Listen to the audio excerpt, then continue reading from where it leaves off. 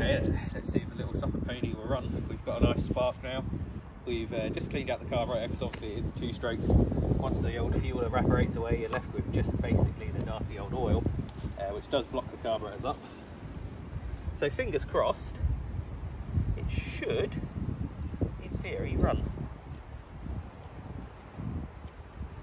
There we go, we've got some fuel. Might be one of the last runs for the old pony for a while. The flywheel hub seems to have a small crack in it uh, I don't remember being there last time around. So it is stone cold. Let's just see what's going to happen.